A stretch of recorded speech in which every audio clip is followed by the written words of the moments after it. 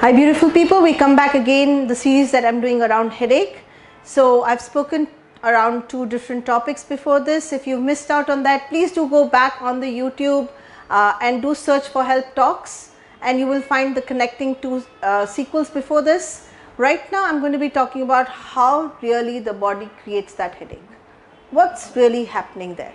So let's understand the body can stay either in stress or it can be in rest. So I'm repeating again the body can either be in rest which means sorry in stress which means something horrible has happened something that has stressed me out right or I can be without stress. In both the stages something is happening. When I am in stress my blood pressure will rise, my sugar levels will fluctuate right and when I am off stress my sugar levels will again change. When I am off stress my blood pressure will again change. These fluctuations that can happen in the sugar level and the blood pressure can be a major cause of the headaches and the and the and the shift will be very fast. Let's say somebody who doesn't have a blood pressure problem at all suddenly gets into a stress. Let's say they hear a story like uh, uh, this man has walked in uh, at home and his wife just looks at him and says, Hey, I asked you to get this, couldn't you even do that? Now her attitude, maybe the way she's speaking to him can suddenly put him in stress. And let's say he's gotten stress now. Let's say he reaches office where somebody looks at him and says, Hey, you're such a nice person, you did beautiful stuff. It's just the opposite of how his wife spoke to him. So he goes off stress. That is the time when he will get headache. So he will not get headache when he's actually faced with this. It will almost be as if somebody is charging him now or charging towards him or attacking towards him. So let's now let's say he goes reaches the office, somebody spoken nicely to him.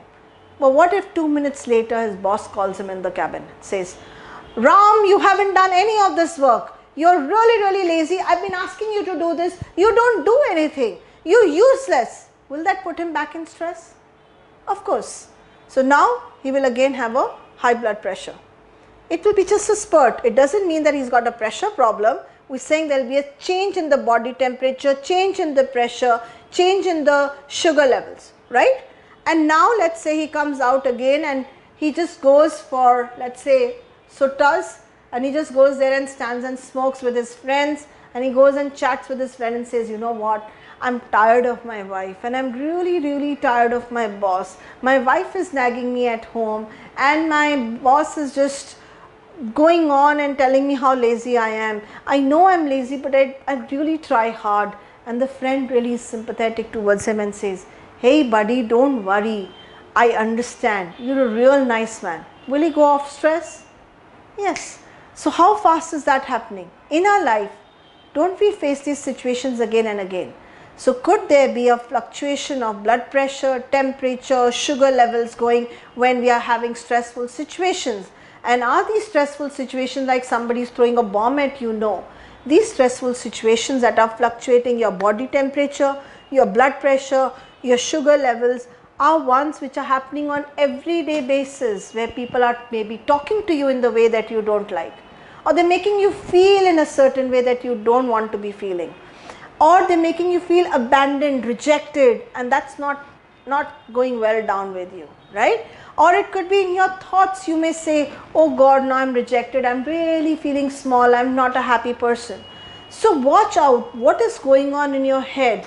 Could it be that somebody's facial expression, you know, some people have that expression like this kind of an expression, or somebody even condescendingly talks to you and their expression, somebody's body language may put you off somebody may be too warm to you that may put you off.